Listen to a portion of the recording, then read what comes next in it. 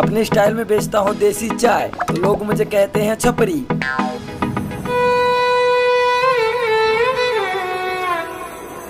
अरे तू